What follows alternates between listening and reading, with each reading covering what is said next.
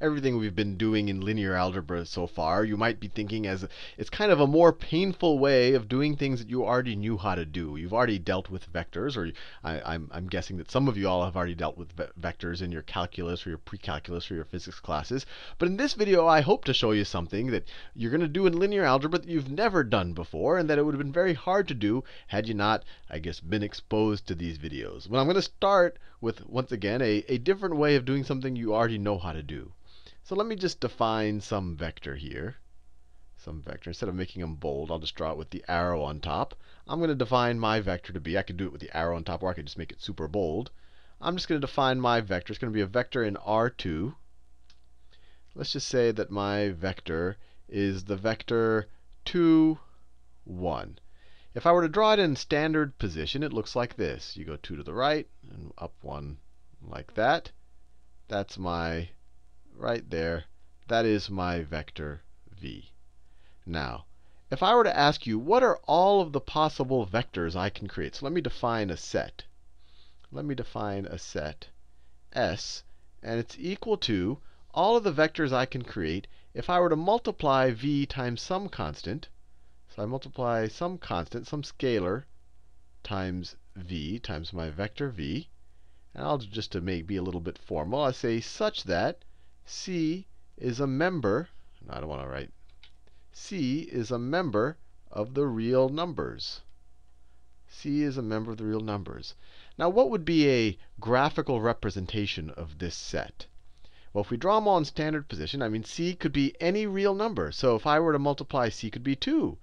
If, you know, if C is 2, C, let, let me do it this way. If I do 2 times our vector, I'm going to get the vector 4, 2. Let me draw that in standard position. 4, 2. It's right there. It's this vector right there. That vector right there. It's collinear with this first vector. It's along the same line, but just goes out to further too. Now, I could have done another. I could have done 1.5 times our vector v. Let me do that in a different color. And maybe that would be that would be what? That would be 1.5 times 2, which is 3, 1.5. Where would that vector get me? I'd go 1.5 and then I'd go 3 and then 1.5. I'd get right there. And I could multiply it by anything. I could multiply 1.4999 times vector v and get right over here.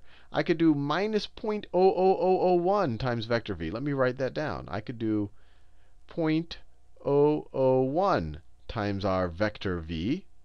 And where would that put me? It would put me right, little super small vector right there. If I did minus 0.01, it'd make a super small vector right there pointing in that direction. If I were to do minus 10, I would get a vector going in this direction that goes way like that, or it goes way like that. But you can imagine that if I were to plot all of the vectors in standard position, uh, all of them that, that could be represented by any c in real numbers, I'll essentially get, I'll, you know, I'll end up drawing a bunch of vectors where their arrows are all lined up along this line right there, and all lined up in even the negative direction. Let me make sure I draw it properly. Along that line, like that. I think you get the idea. So it's a set of collinear vectors. So let me write that down. It's a set of collinear collinear vectors. And if we view if we view these vectors as position vectors that you know that this vector represents a point in space uh, uh in in R2. You know, this R2 is just our Cartesian coordinate plane right here in every direction. If we view this vector as a as a position vector, let me write that down. As a position vector, if we view it as kind of a coordinate in R2, then this set, if we visually represent it as a bunch of position vectors, it'll be represented by this whole line over here. It'll be represented by this whole line over here. And I want to make that point clear because if I didn't, if it's a, it's essentially a line of slope 2, right? Your rise, uh, sorry, a slope 1 half. Your rise is 1. Your rise is 1 for going over 2. But I, want, I don't want to go back to our algebra 1 notation too much. But I want to make this point that this line of, of, of slope 2 that goes through the origin, this is if we draw all of the vectors in this set as in their standard form, or if we draw them all as position vectors.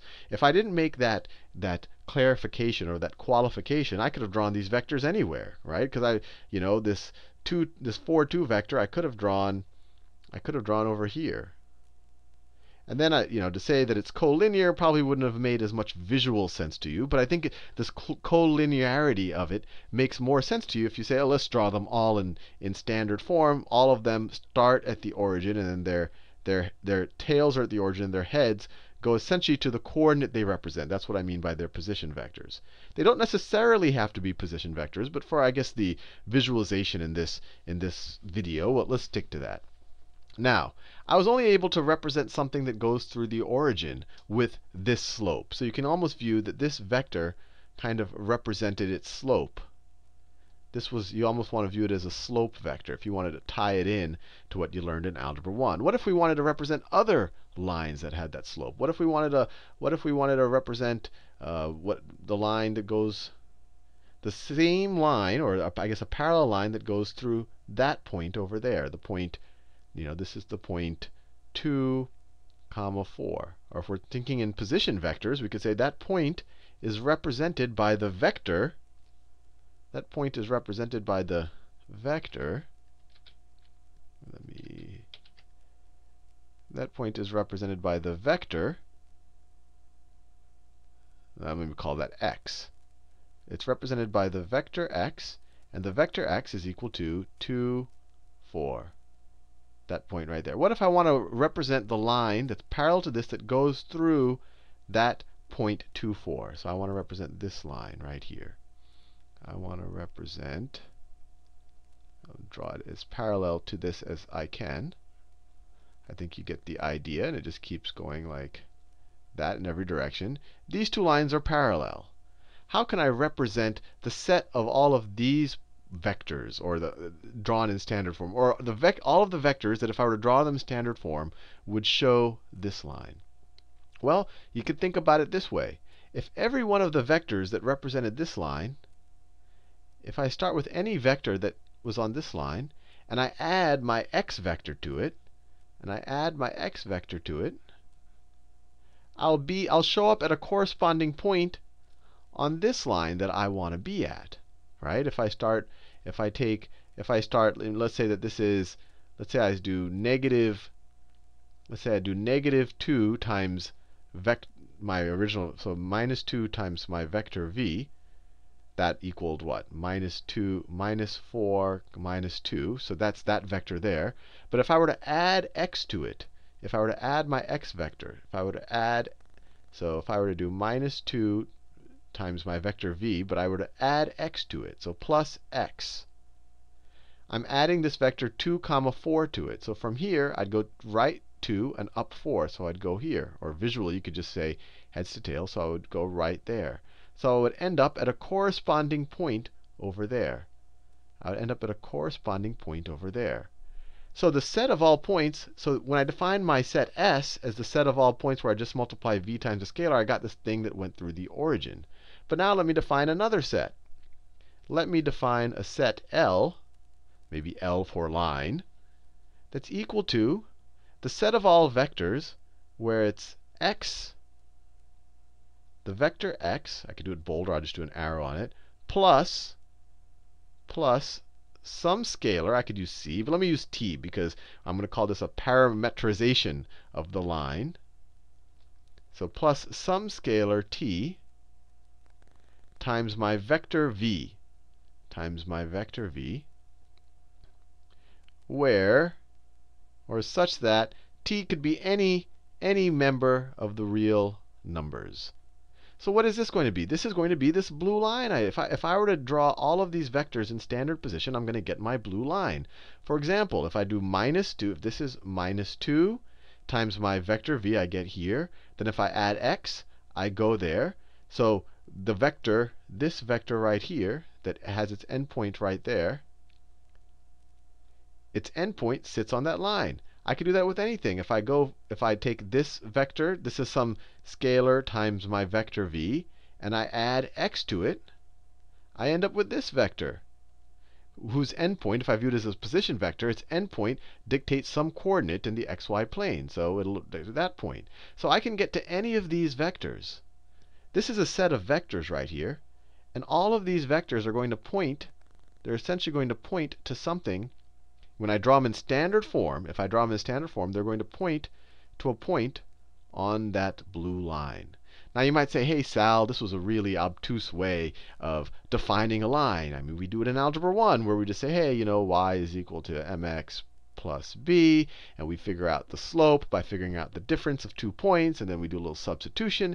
And this is stuff you learned in 7th or 8th grade. This was really straightforward. Why am I defining this, this obtuse set here and, and, and you know, making you think in terms of sets and vectors and adding vectors? And the reason is, is because this is very general. This is very general. This worked well in R2. So in R2, this was great. I mean, we just have to worry about x's and y's. But what about the situation? I mean, notice in your algebra class, your your teacher never really gave you, told you much, or at least the ones I took, about how to how do you represent lines in three dimensions. And uh, I mean, maybe some classes go there, but they definitely didn't tell you how do you represent lines in four dimensions or 100 dimensions. And that's what this is going to do for us. Right here, I defined x and v as, as vectors in R2. They're two-dimensional vectors. But we can extend it to an arbitrary number of dimensions. So let me just, just to kind of hit the point home, let's do one more example in R2 where it's kind of the, the classic algebra problem where you need to find the equation for the line. or But here we're going to call it the, the set definition for the line. Let's say we have two vectors. Let's say we have the vector a we have the vector a, which I'll define as, you know, let me just say it's 2, 1. So if I were to draw in standard form, it's 2, 2, 1. That's my vector a right there. And let's say I have vector b. Let me define vector b. I'm going to define it as, I don't know, let me define it as 0, 3. So my vector b, 0, I don't move to the right at all, and I go up. Uh, so my vector b will look like that. My vector b. Now I'm going to say that these are position vectors. That they're, eh, we draw them in standard form. When you draw them in standard form, the, their endpoints represent some position. So you can almost view these as coordinate points in R2. This is R2. I mean, if I all of these coordinate axes I draw are going to be R2. Now what if I asked you, give me a parameterization of the line that goes through these two points. So essentially I want the equation, you can if you're thinking in algebra 1 terms, I want the equation for the line that goes through these two points. That goes through those two points. So the classic way, you would have figured out the slope and all of that, and then you would have substituted back in. But instead, what we can do is we can say, hey, look, this line that goes through both of those points, or you can almost say that, you know, that both of those vectors lie on, I guess that's a better, both of these vectors lie on this line. Now, what is the, what vector can be represented by that line? Or even better, what line, what, what vector, if I take any arbitrary scalar multiple, will this, can, can represent any other vector on that line? And let me do it this way.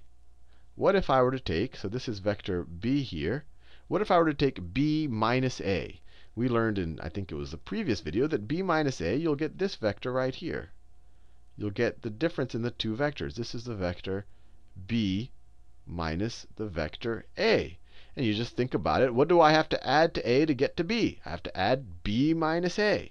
So if I can get the vector b minus a, right, and we know how to do that. We just subtract the vectors and then multiply it by any scalar, then any scalar, then we're going to get any point along that line. We have to be careful. So what happens if we take t, so some scalar, times our vector times the vectors b minus a. b minus a. What do we get then? So b minus a looks like that. But if we were to draw it in standard form, remember, this in standard form, b minus a would look something like this. It would look something like this right? It would start at 0, it would be parallel to this, and then from 0 we would draw its endpoint. So if we just multiplied some scalar times b minus a, we would actually get, we would actually just get, we would get points or vectors that lie on this line. Vectors that lie on that line right there. Now, that's not what we set out to do. We wanted to figure out a, an equation or a parametrization, if you will, of this line or this set. Let's call this set L. So we want to know what that set is equal to. So in order to get there, we have to start with this which is one of these, which is this line, which is this line here, and we have to shift it. And we could shift it either by shifting it straight up, we could add vector b to it. So we could take this, this line right here and add vector b to it. And so any point on here would have its corresponding point there. So when you add vector b, it essentially shifts it up.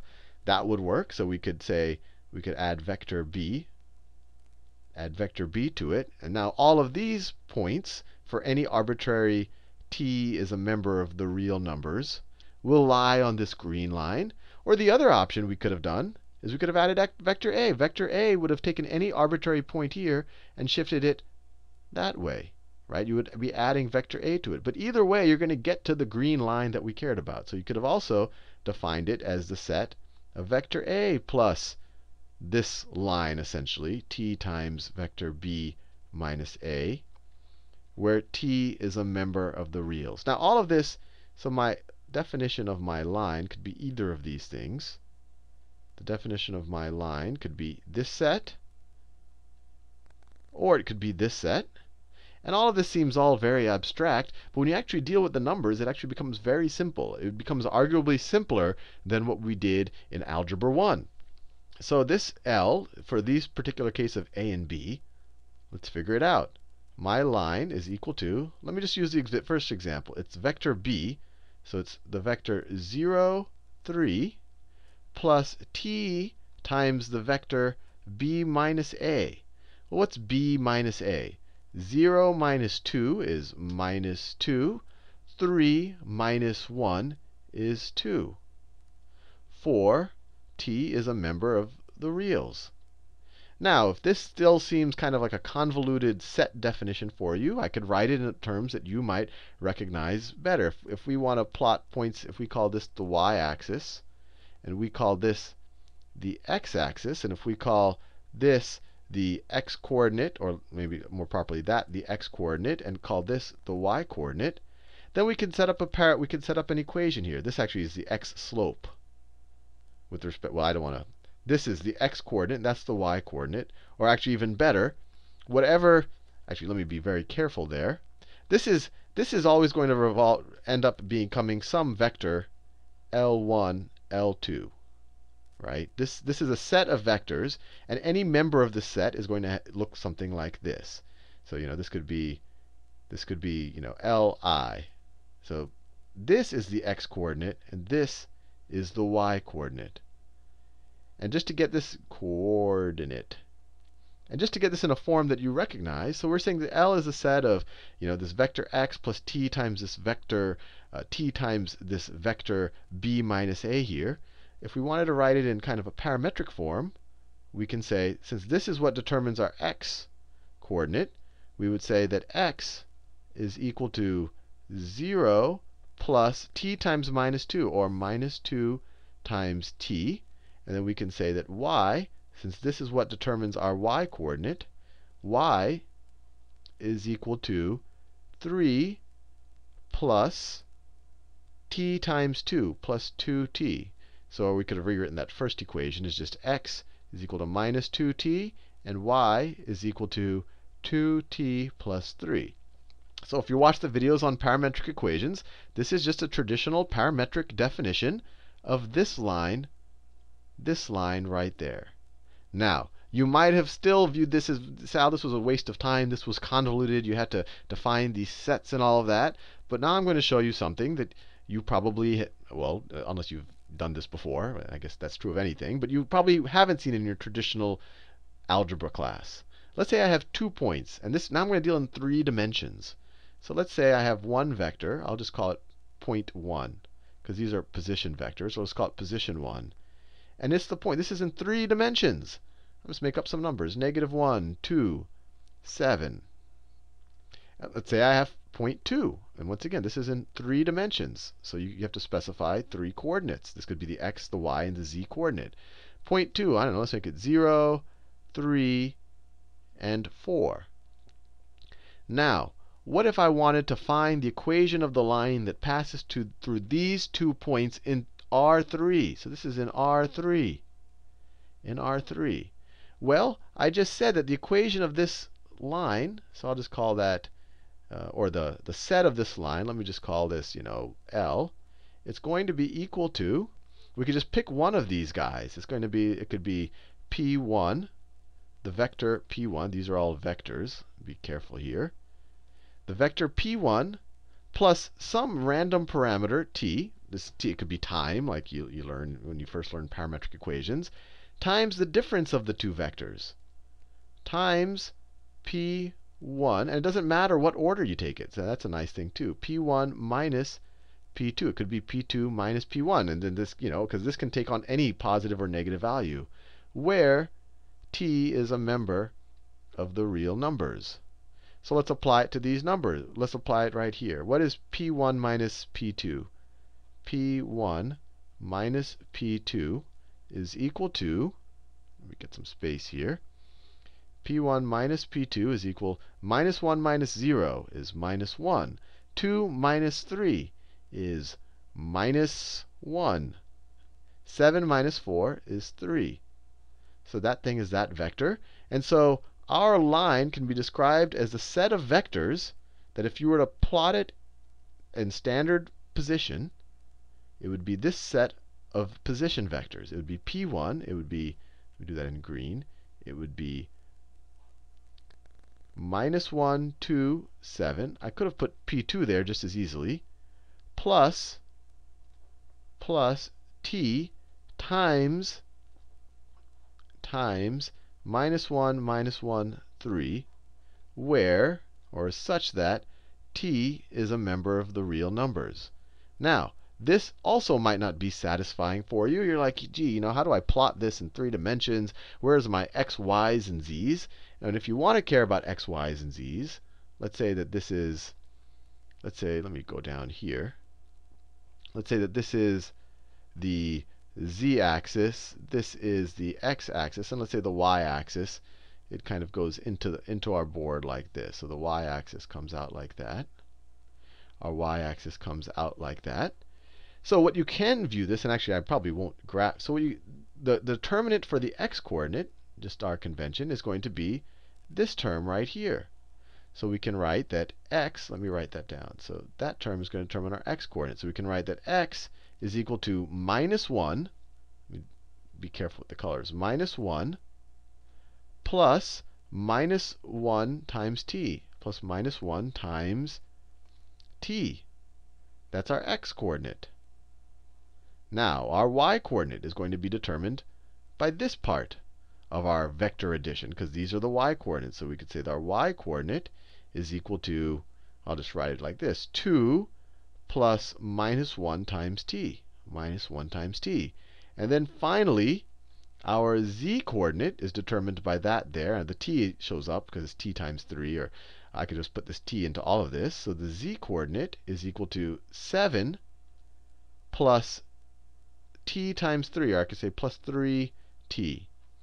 And just like that, we have three parametric equations. And you know, when we did it in R2, I did a parametric equation. But we learned in Algebra 1, you could just have a regular y in terms of x. You don't have to have a parametric equation. But when you're dealing in R3, the only way to define a line is to have a parametric equation. If you have just an equation with x's, y's, and z's, if I just have x plus y plus z is equal to some number, this is not a line. Not a line. And we'll talk more about this in R3. This is a plane. This is a plane.